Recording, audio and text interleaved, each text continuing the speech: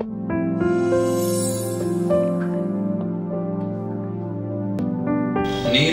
అనేది ఒక ముఖ్యమైన వనరు. మన ఆంధ్ర రాష్ట్రానికి కానీ మన భారతదేశానికి కానీ ఈరోజు ఎక్కడ చూసినా సరే నీటి కష్టాలు ఎక్కువైపోయినాయి.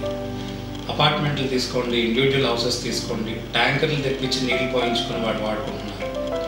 మన పెద్దలు నదుల్లో నీళ్ళు చూశారు. తర్వాత తరం చెరువుల్లో చూస్తే ఈ రోజు తరం వాటిని వాటర్ బాటిల్స్లో ట్యాప్స్లో చూడాల్సిన పరిస్థితి వచ్చింది. మరి రేపటి తరం ఎక్కడ చూస్తారు అనేది నిజంగా ఒక క్వశ్చన్ మార్క్ కింద ఈరోజు ఉండిపోయింది. రాబోయే తరాలకి మనం ఏం అందిస్తున్నాం అనేది ఖచ్చితంగా అందులో ఆలోచించుకోవాల్సిన విషయం. ఈ నీరు ఈరోజు నదుల్లో నీళ్ళు లేవు చెరువుల్లో నీళ్ళు లేవు ఎక్కడ నీరు లేకపోతే మరి మనుషులు ఎలా బతుకుతారు?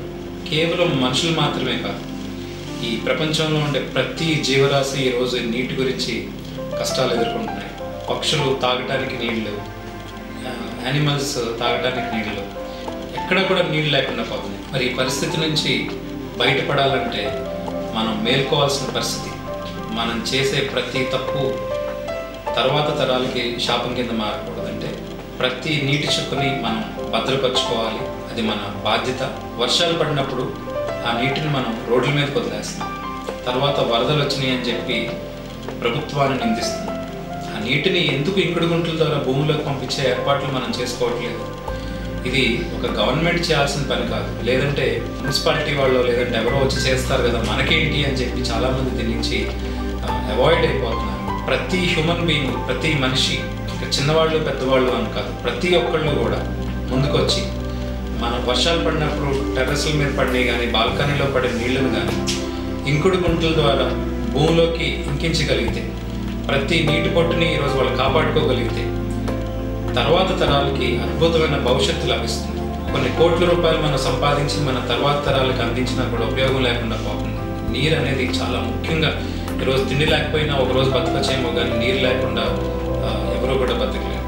అటువంటి నీటిని సంరక్షించుకోవాల్సిన బాధ్యత మన మీద ఎంతైనా ఉంది. అంతేకాకుండా ప్రతి నీటి పొట్టు భూమిని చీల్చుకుని పైకి వచ్చి కొన్ని వేల ఎకరాలని సాగు చేస్తుంది. అటువంటి పంటలకి కూడా నీరు అందలేని పరిస్థితి ఈరోజు చాలా జిల్లాల్లో చాలా రా- చాలా రాష్ట్రాల్లో మనం చూస్తున్నాం. ఇంకా మన అదృష్టం ఏంటంటే తెలుగు రాష్ట్రాల్లో ఇంకా నీరు సక్రమంగానే దొరుకుతుంది అందరూ ఎంజాయ్ చేస్తారు. కానీ ఎప్పుడైనా మేల్కోకపోతే తర్వాత తరాలకి ఖచ్చితంగా ఈ నీరు అనేది దొరకదని చెప్పి మనం ఖచ్చితంగా చెప్పచ్చు. నేను ముందుకు వస్తున్నాను నాతో పాటు మీ అందరినీ కూడా నేను రిక్వెస్ట్ చేస్తున్నాను.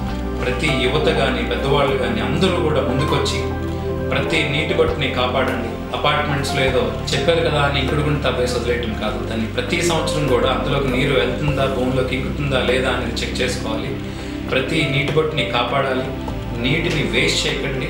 తర్వాత తరాలకి నీరు కనుక మనం అందించలేకపోతే ఇండస్ట్రీస్ ఉండవు వాటి వల్ల ఉద్యోగాలు ఉండవు వాటి వల్ల ఫైనాన్షియల్ స్కేర్సిటీ uh, అనేది వచ్చేస్తుంది. చాలా ఇబ్బందులు పడిపోతారు. ఇది ఒక జోక్గా తీసుకోకుండా మనం ప్రతిదానికి ఒక హీరో వస్తే పరిగెడతాం. లేదంటే ఒక పొలిటీషియన్ వస్తే పరిగెడతాం. ఒక క్రికెటర్ వస్తే పరిగెడతాం. మరి మన కష్టాల కోసం మనం ఎప్పుడు పరిగెడతాం? ఈ నీరు అనేది చాలా ముఖ్యమైన వనరు కాబట్టి దానికోసం ముందుకు నడుద్దాం. చేయి చేయగలుగుతాం. మన రాష్ట్రాన్ని ముందు మనం కాపాడుకుందాం. ఆ తర్వాత మన దేశాన్ని దేశ భవిష్యత్తుని కూడా ఈ నీటిని సేవ్ చేసి కాపాడుకుందాం. నాతో పాటు మీ అందరూ కూడా మీ అందరూ కూడా చేయి చెయ్యి కలిపి నడుస్తారని మనస్ఫూర్తిగా కోరుకుంటూ நீங்கள் சதீஷ் பண்ணுங்கள்